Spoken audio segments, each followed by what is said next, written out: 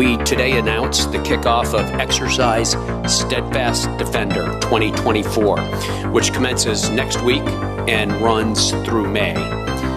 Steadfast Defender 24 will be the largest NATO exercise in decades, with participation from approximately 90,000 forces from all 31 allies, plus our good partner, Sweden.